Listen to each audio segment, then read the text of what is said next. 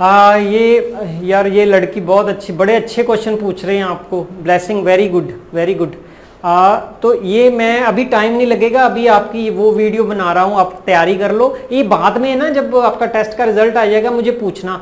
मैं ये पता कर रहा हूँ मेरा टाइम नहीं लग रहा वेरीफाई करके पंजाबी यूनिवर्सिटी पटियाला ने तो डायरेक्ट कह दिया था मुझको कि प्रैक्टिकल किसी का भी हम एडिशनल नहीं करवाते। और गुरु नानक देव यूनिवर्सिटी में से डॉक्टर राजेंद्र, जिनका नंबर भी मैंने दिया हुआ है, उनसे आप बात कर लीजिए, उनकी गुरु नानक देव यूनिवर्सिटी बात हुई है। उन्होंने ये पता किया था तो वो कह रहे थे कि अडी जो प्रैक्टिकल है, ये पॉजिटिव है इन्फॉर्मेशन अभी मैंने वेरीफाई करनी है।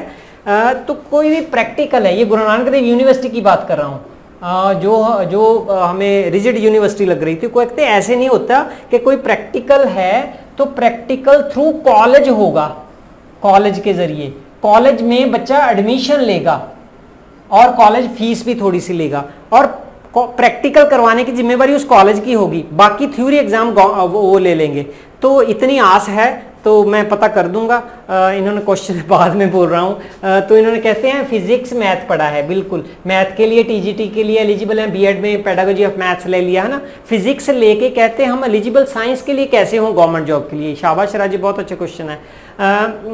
तो as there is only science study है ना?